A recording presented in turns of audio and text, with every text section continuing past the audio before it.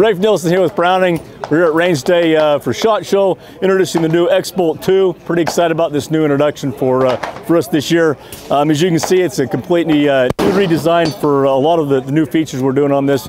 Primarily, you can see here is our new Vari-Tech stock, and it's in a completely modular stock, adjustable comb, adjustable length of pull. You can ch change out the uh, the grip as well from a vertical grip to more of a sporter style grip. There's ad additional attachment points on the forend to do uh, more Picatinny rails, anything you want on the front end of it. Uh, a longer bolt design with more bolt guidance area, so there's less bind in the backside of it, a lot smoother action, uh, flows a lot easier, and the new DLX trigger is involved in this as well. Much crisper, smoother, easier to, to shoot trigger. We're pretty excited about that. We're introducing this in about uh, eight different models this year. A lot of different variants. We have carbon fiber stocks, carbon fiber barrels this year as well, McMillan stocks. Um, we have an ad additional cool new feature called the Plus Mag, which is an extended magazine that you can see out there as well.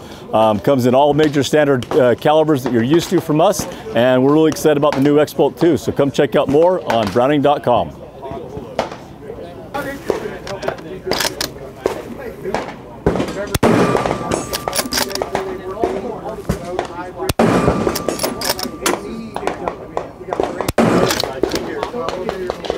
Yeah, oh,